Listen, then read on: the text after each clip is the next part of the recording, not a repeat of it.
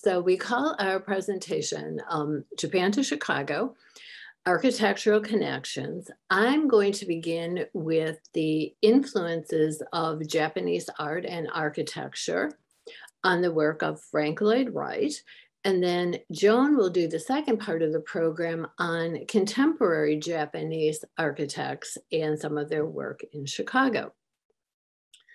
So Frank Lloyd Wright was born in 1867, died in 1959. So during that time, he had a very prolific career. He did 1,100 designs, 530 were built, and 430 buildings remain. So he did a variety. Mostly he did residential architecture. Uh, we'll be talking mostly about his prairie homes, an example on the bottom from Iowa. He did religious buildings, as the synagogue you see from Pennsylvania. And then his last commission, the Guggenheim Museum in New York. So I'm going to be focusing on his early years in Chicago, and that was from about 1887 to 1910. And what you're seeing here is a picture of his studio, or actually, you're seeing the studio, but it's attached to his home.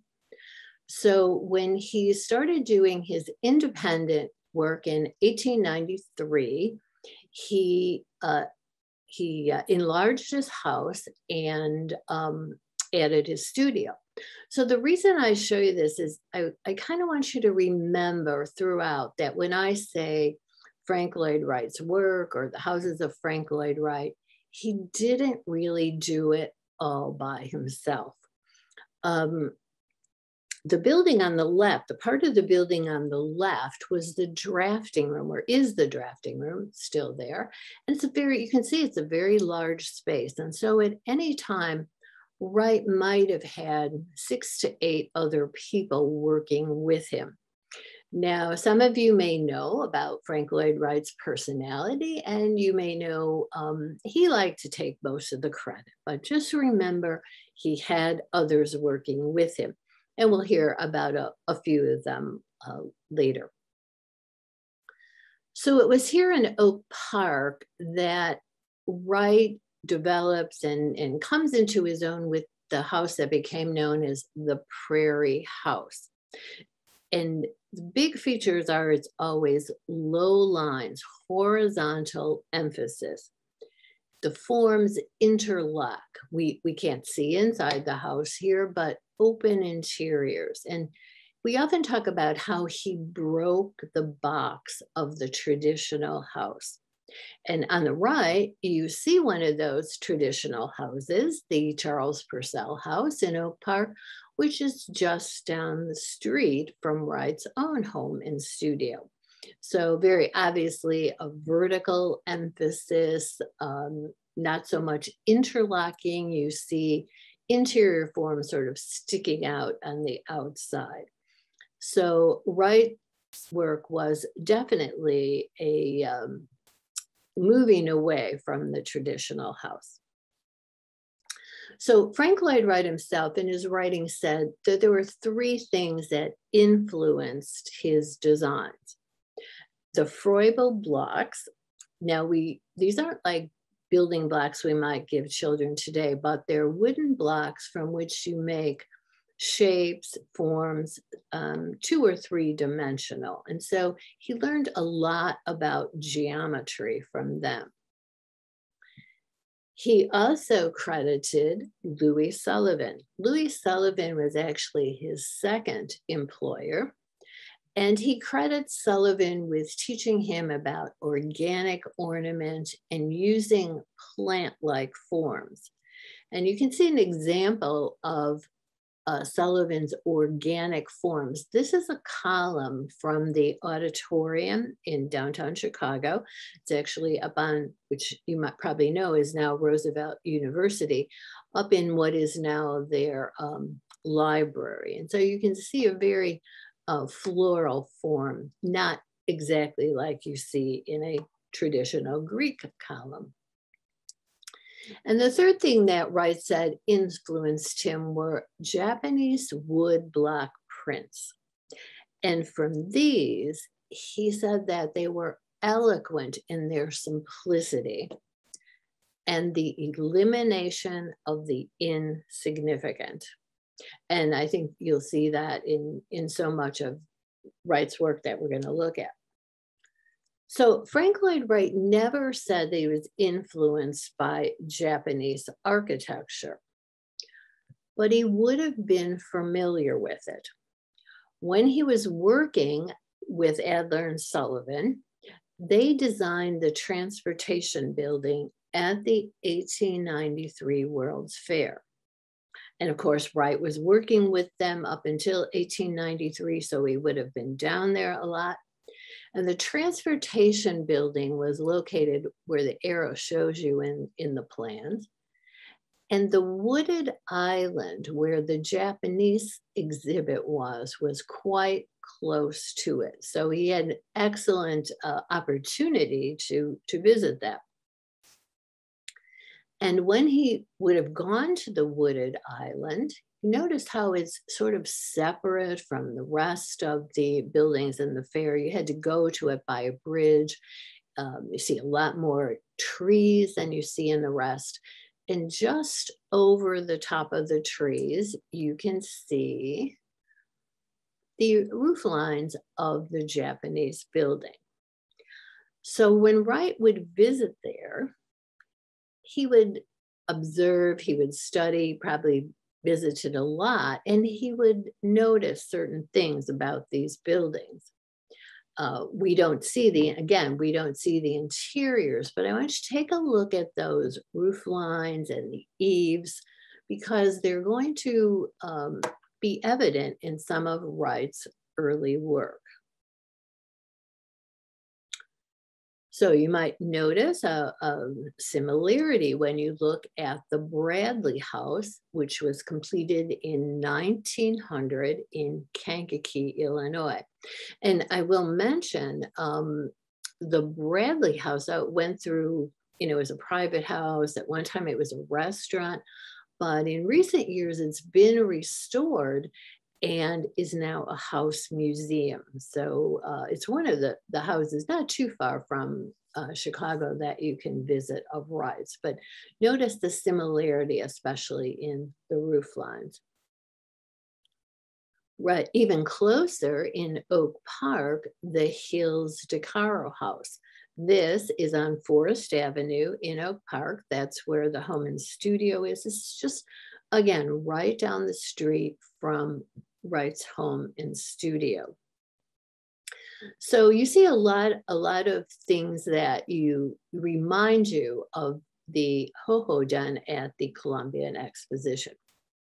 So Wright didn't like to say that Japanese architecture influenced him. So I decided to say, well, there are parallel design features and uh, we're going to look at some traditional Japanese homes and then see how these ideas uh, reappear in Wright's work.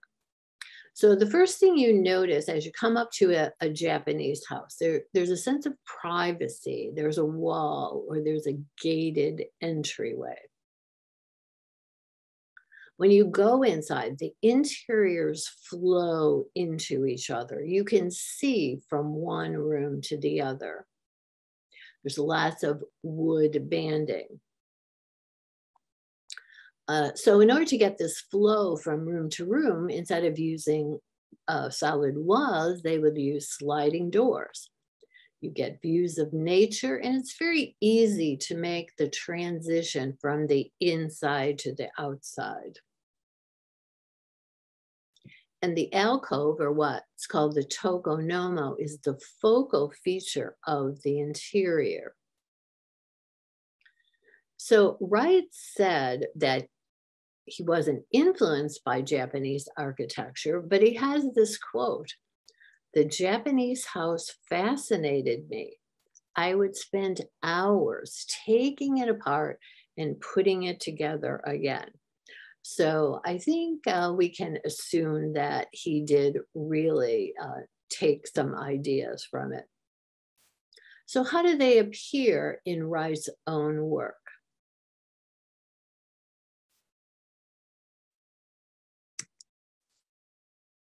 Am I frozen?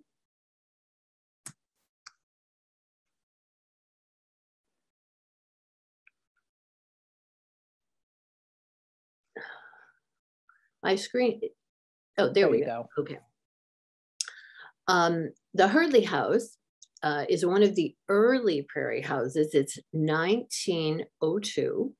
It's in Oak Park, again, on that, that Forest Avenue is just a place you want to take a walk down to see these Frank Lloyd Wright homes.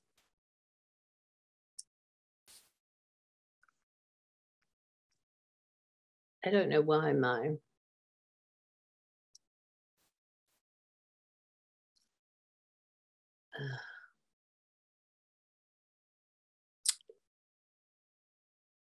Try the button on your. Oh, there. All right. I'm, I'll do it that way. I don't know.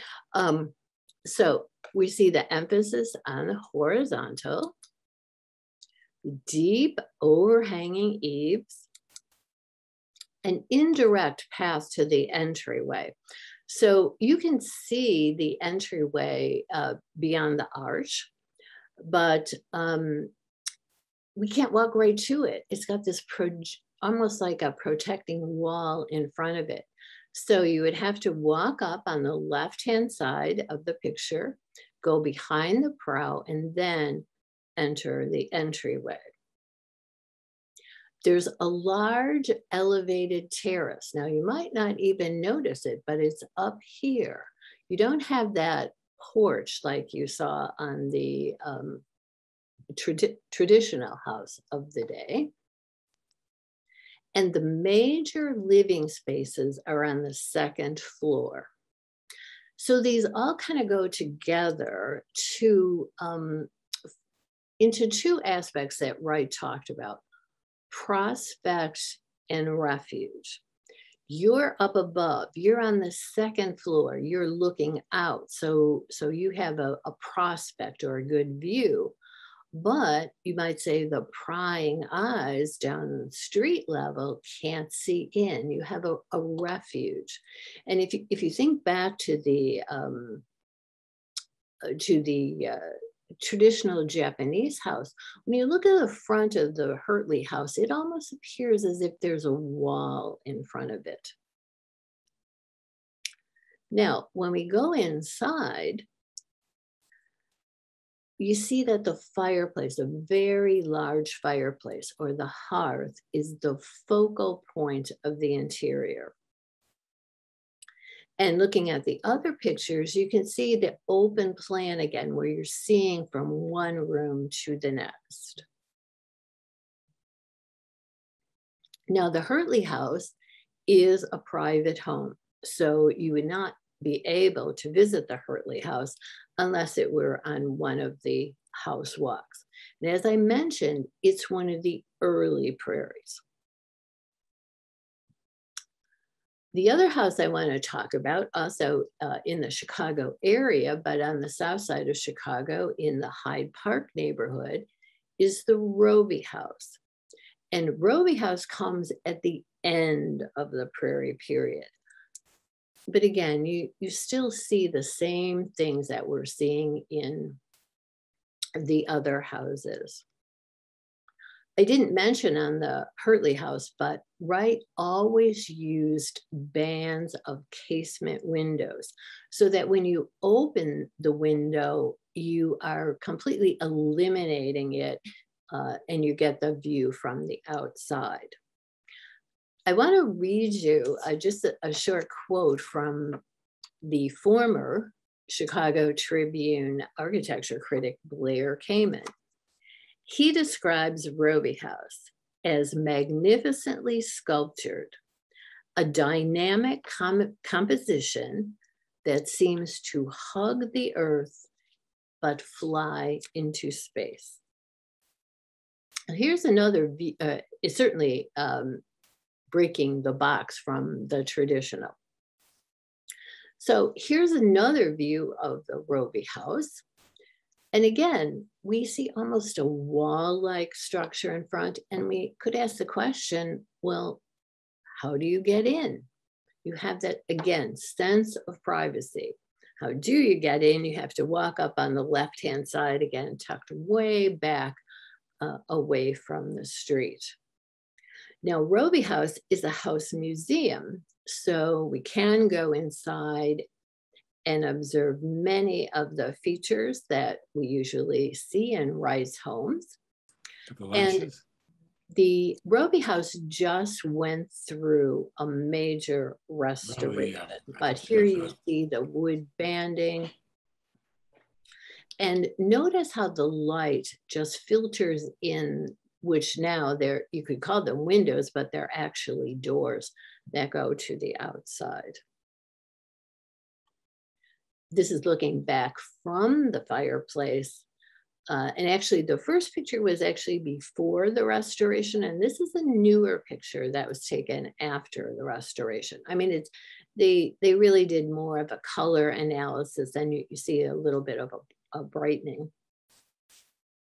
Um, two other photos. I think the photo on the left really reminds me of the picture we saw of the Japanese house with the long corridor and the uh, screens to go outside.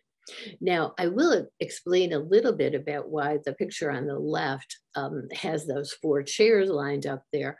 As I say, this was after the restoration, but it wasn't quite complete because they were redesigning the seating area around the fireplace or the inglenook. So it wasn't quite finished. So so that's why they just lined up those chairs to uh, to show you that. But really a, a beautiful a beautiful house. Um, especially after the restoration. So I think you've seen from the Japanese uh, ideas that he might have used or paralleled in his homes. And I'm going to show you one more building, which is not a house, but Unity Temple. It's one of Wright's first public buildings is also in Oak Park, but it's on the major uh, street of Oak Park. It's on Lake Street.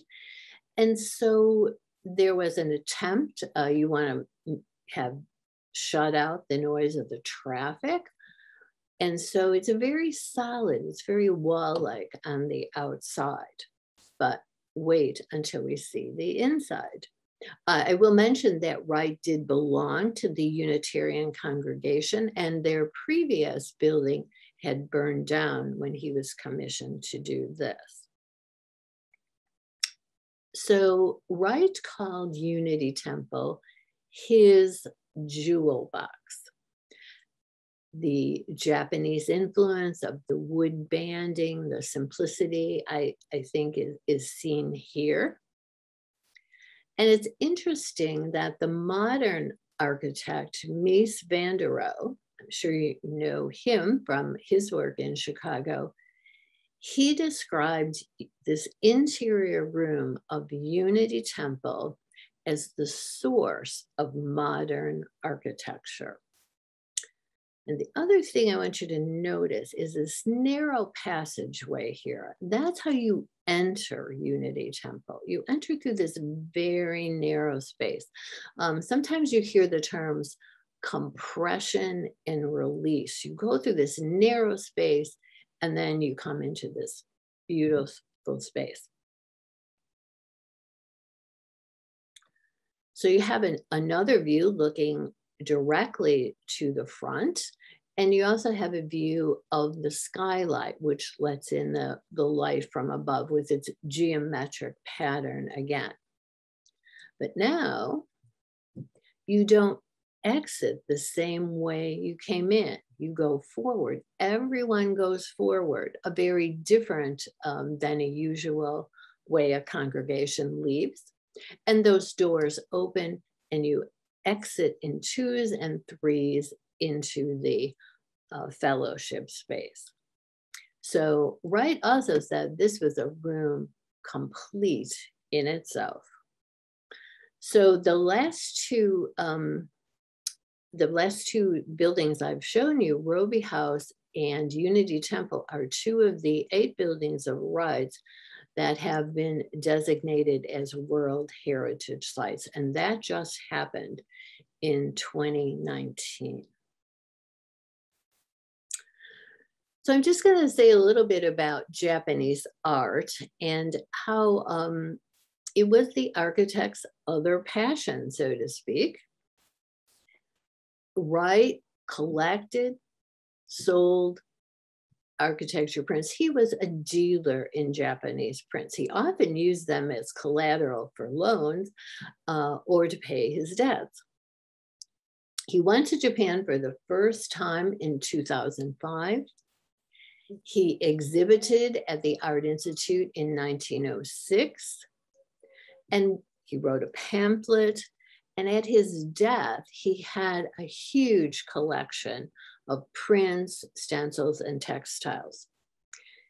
Um, we have, there are some works in the Art Institute that at one time were owned by Frank Lloyd Wright, but he didn't donate them he sold to a man that you might have heard of, uh, Clarence Buckingham. You, I'm sure, all know that the fountain was named after him.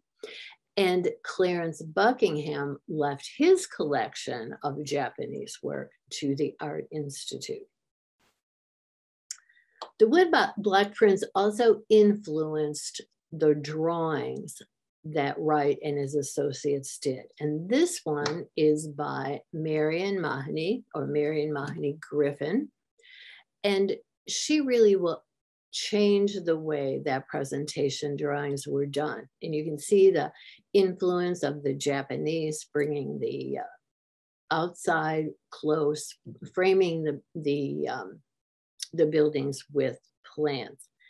Uh, you might know that she married another associate of Wright's, Walter Burley Griffin, and they moved to Australia when he got the competition, or he won the competition to design Canberra. Now, the reason I also brought her up is because, you know, I don't know how, how many of you are from Evanston, but you're associated with Evanston. And um, just south in the neighborhood of Rogers Park, you have a park named for Marion. And you had a, an art exhibit at the Block Museum of her work. And uh, she's she is a product of the, the Chicago area. But uh, she she really was the one who did these fantastic drawings of, um, of Wright's work. So um, I'm going to close uh, and just reminder that Wright uh, defined his architecture as organic buildings that grow and harmonize with their surroundings and uh, show you this picture of Fallingwater, which of course came much later in 1935, but just to sort of entice you to uh, look ahead because there is lots more of um, of Wright's work to take a look at. So I'm going to stop sharing and turn it over to Joan.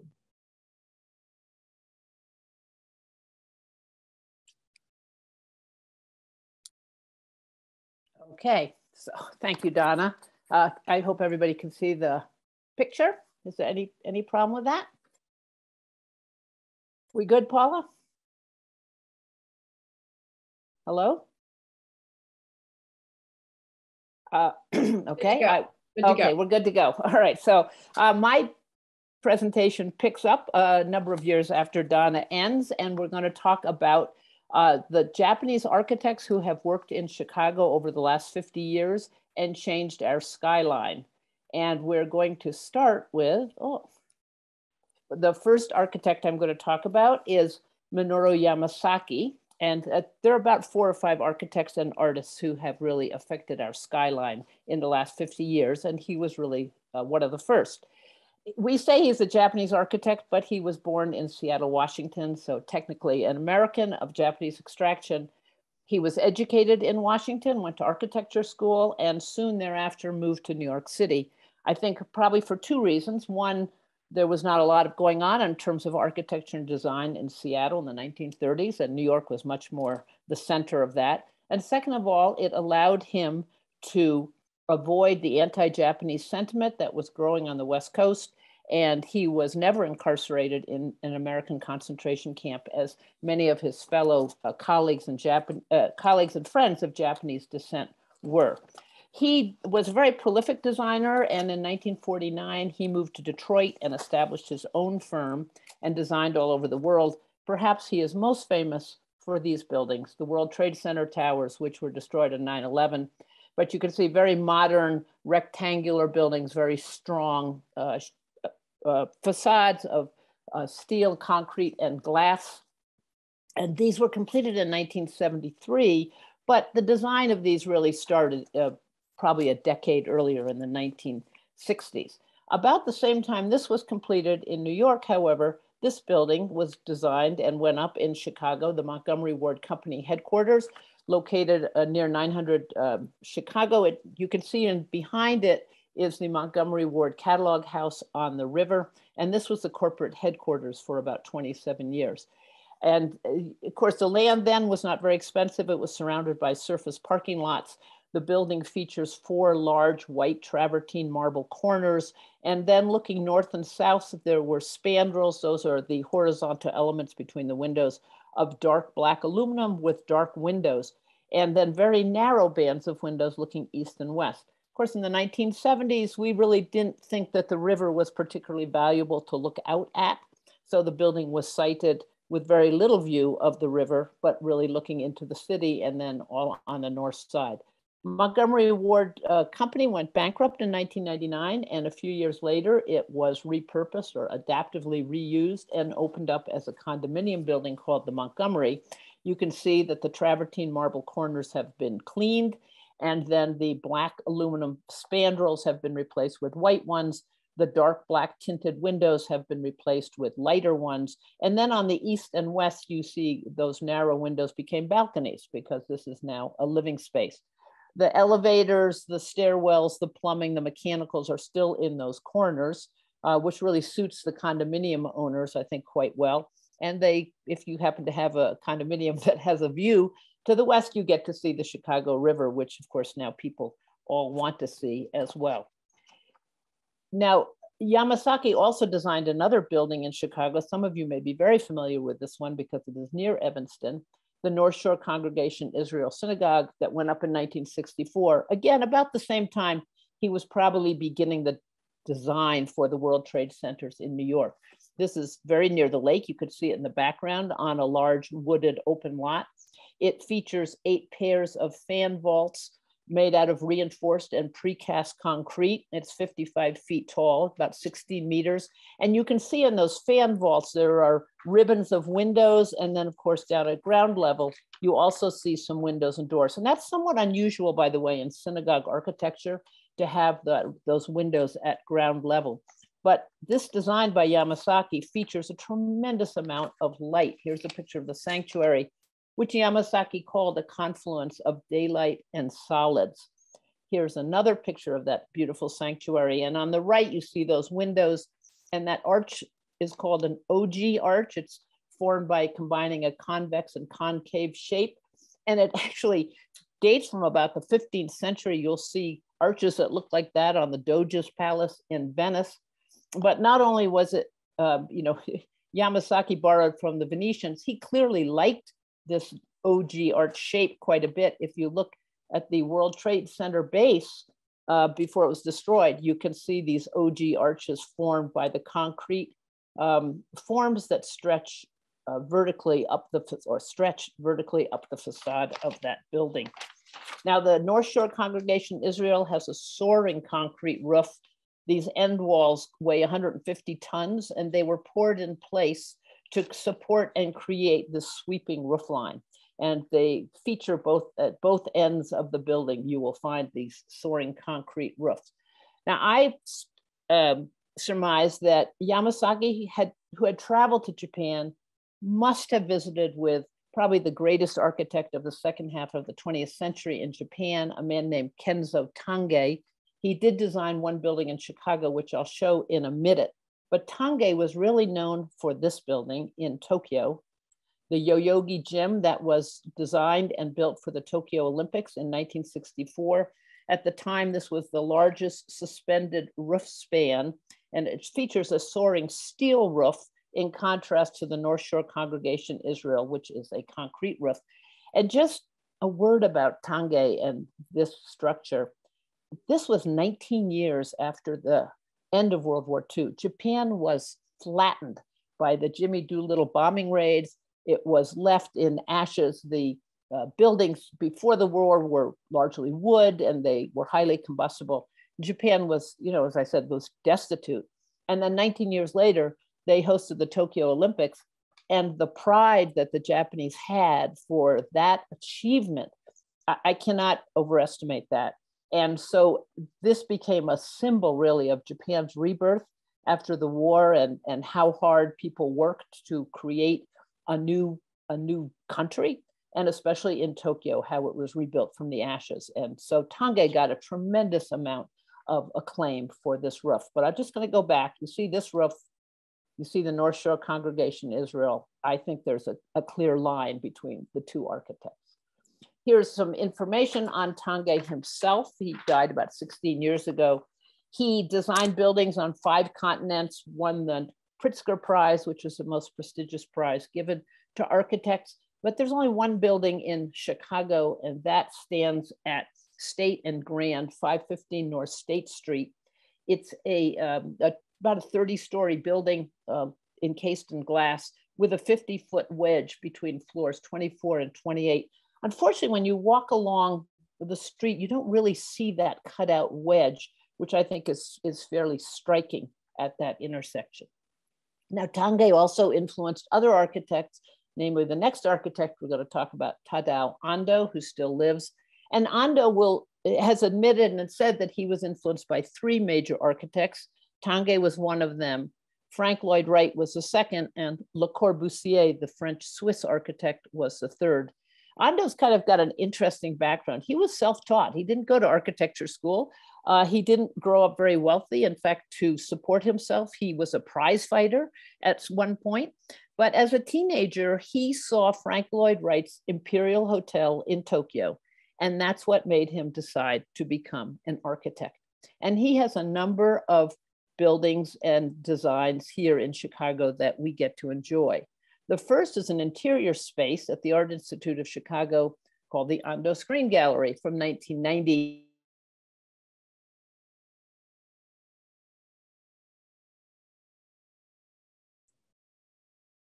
and of wall space for exhibiting Japanese screens and prints.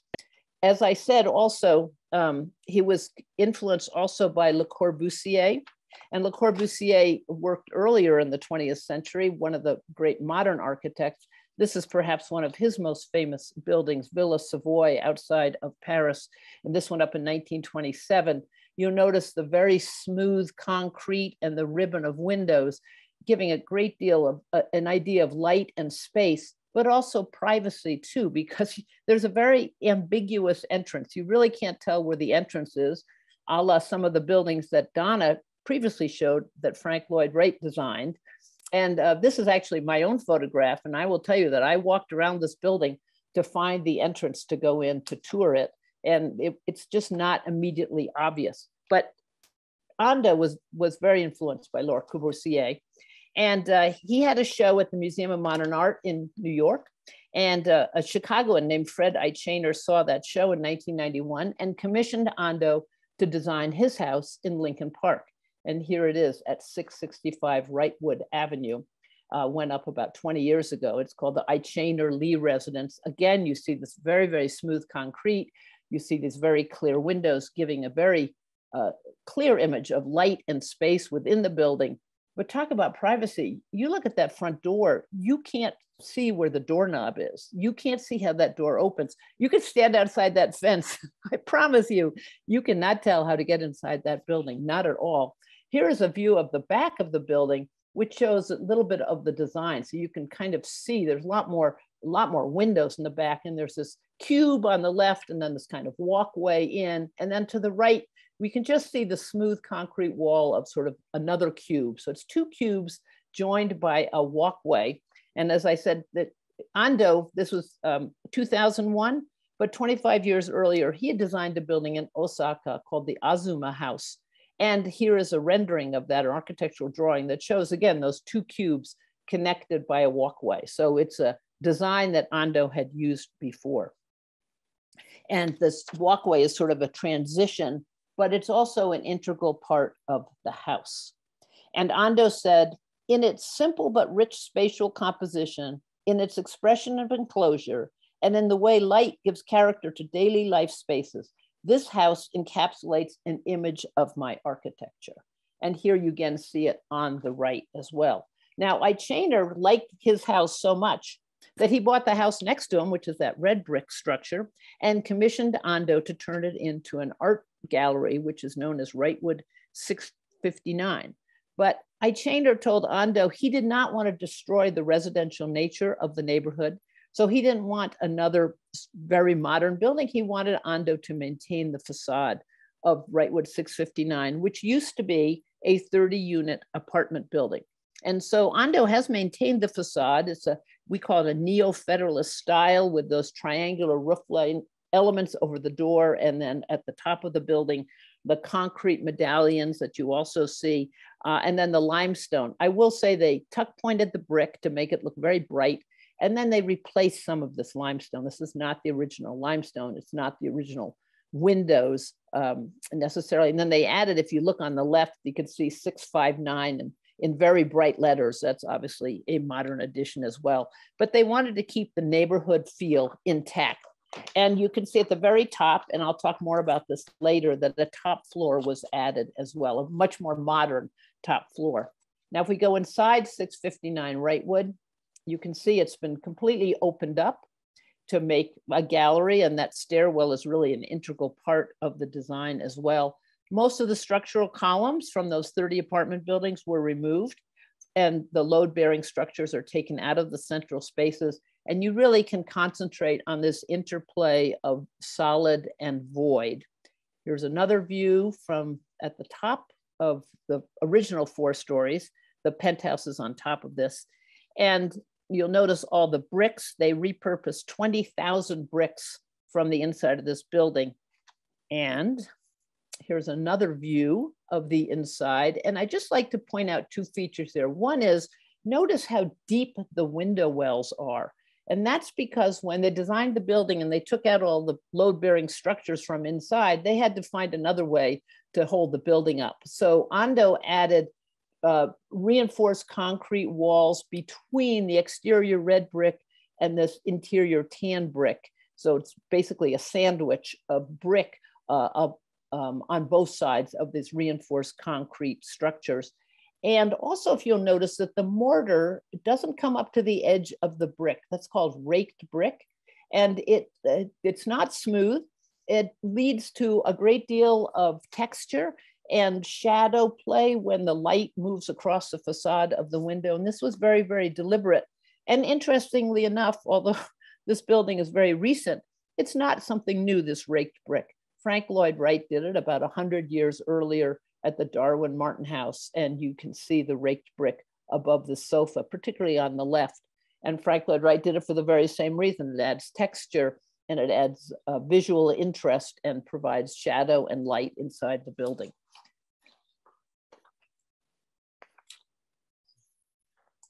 And now we're going back to take a look at that top floor of Wrightwood 659 that was uh, additional design add by Ando, and it gives a very, this glassed in wall. You can see it, there's more exhibit space that's provided, but also it allows people to look out on the tree canopy of Lincoln Park and connect to nature, which of course was very much a Frank Lloyd Wright feature that he liked to have in his designs as well.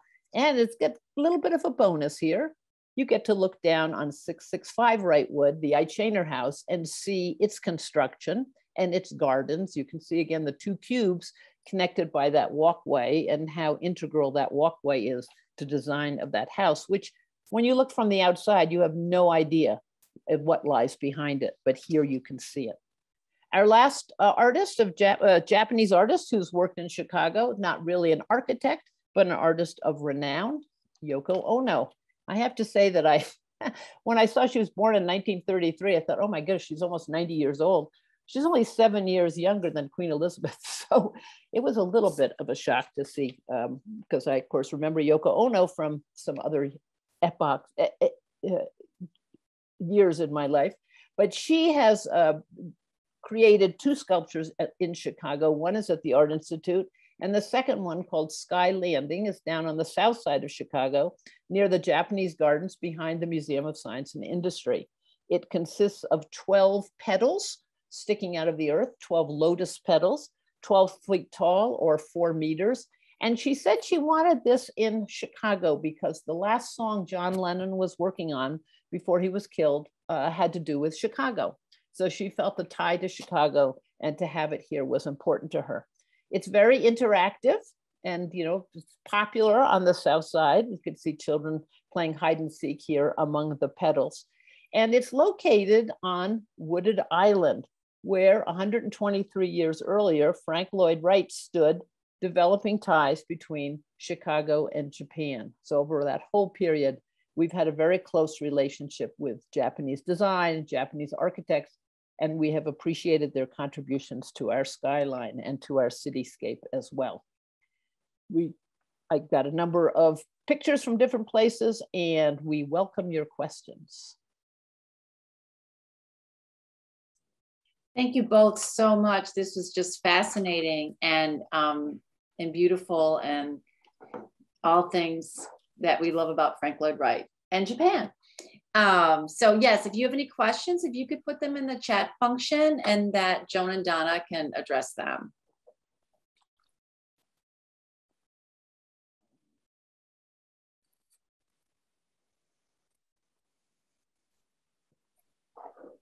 Okay, any questions? Thank yous, nice, yeah. um, and great presentation. Thank you. How, I just have a quick question. How do you, um, as part of the uh, CAC, how do you all decide on like which lectures? And I mean, it just, there's, I mean, there's so much information, right? I mean, you could probably spend, you know, millions of years trying trying to go through all this. That do you sort of just pick things that you you know the most about, or that you're most interested in, or how, well, there, how does that work? 400, there's 400 docents 400 volunteer docents Oh my gosh, 400? Oh my gosh. Okay. And, and people are just excited about Chicago design and architecture. And so the tours, and we have almost 100 tours, we pretty much offer about 80 at a time. The tours are all generated by docents and developed by docents, and um, we train each other. So it's it's very self-generating.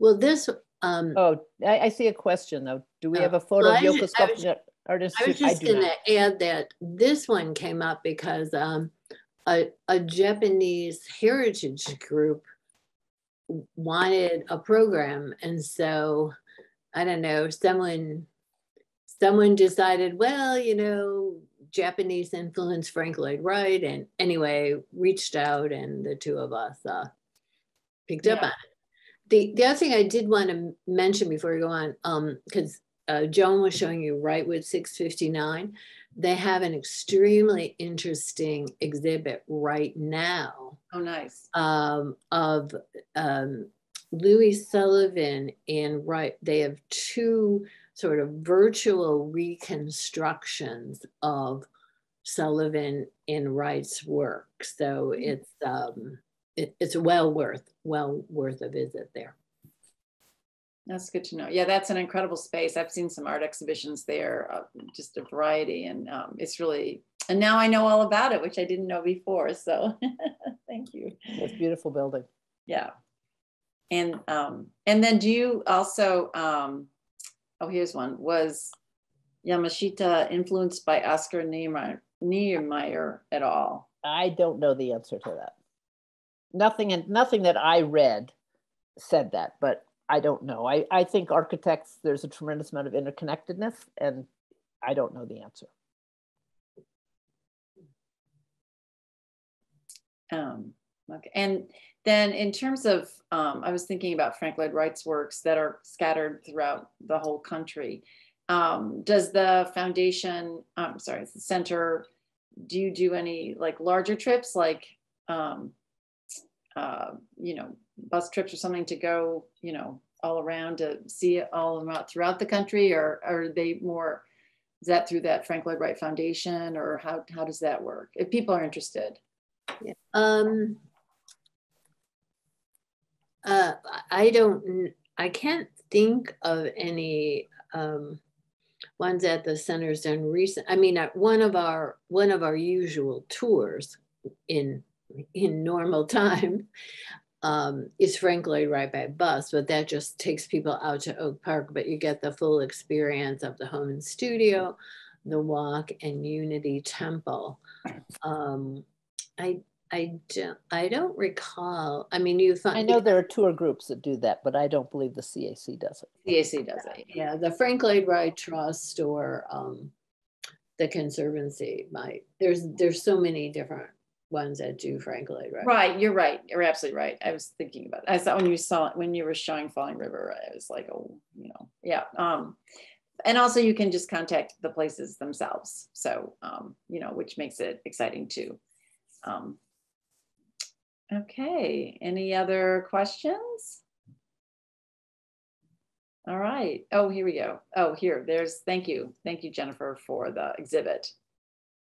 Um, thank you. In the chat is where that exhibit that um, Donna had just mentioned. Um, great. Well, thank you both so much. I can't tell you personally and also just from an art center standpoint too, that this was just an amazing, amazing lecture and um, really, really just so um, just the brain's ticking away and all these wonderful images and just the the wealth of design and structure that we have in our world today. So thank you both so much. Our pleasure. And thanks all of you for coming. And um, our next uh, exhibition, I mean, next in focus will be in January with Courtney Lederer, um, who's a fascinating woman in, in, Chicago. And she's got a design and sculpture firm, and she's uh, doing public, um, managing public sculpture in Chicago. And so please join us for that.